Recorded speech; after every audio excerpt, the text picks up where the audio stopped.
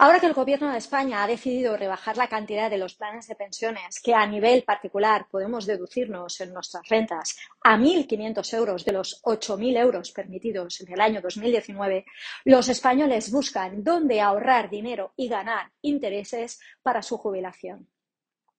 Ahorrar a largo plazo. ¿Dónde ahorrar dinero y ganar intereses? Si hay algo que todos sabemos, aunque no le prestamos la suficiente atención, es que las pensiones públicas se verán reducidas drásticamente en los próximos años.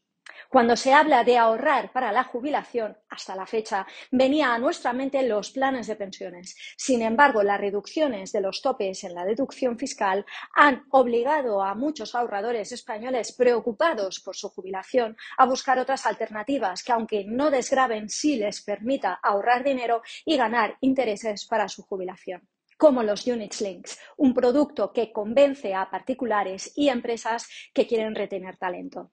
Ahorrar para la jubilación. Si hablamos de cómo ahorrar para la jubilación, existen diferentes instrumentos diseñados específicamente para este fin, los SIALPs y los PIAs. Sin embargo, han sido los Unit Links los que, tras el cambio de normativa, se han disparado en la contratación, tanto por empresas como por ahorradores particulares. ¿Por qué ahorrar a largo plazo en los Unit Links?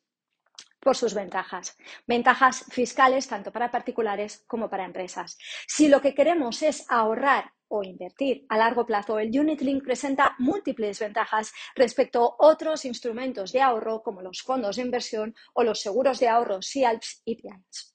¿Qué es un Unit Link? Los Unit Links es un seguro de vida, ahorro e inversión en el que el tomador vincula sus ahorros a una o varias cestas de inversión. En concreto, un Unit Link, los que comercializamos nosotros, eh, se puede invertir hasta ocho cestas diferentes. El seguro de vida ahorro Unit Link no ofrece rentabilidad garantizada. El seguro de vida ahorro Unit Link es en el que el tomador del seguro asume el riesgo de la inversión.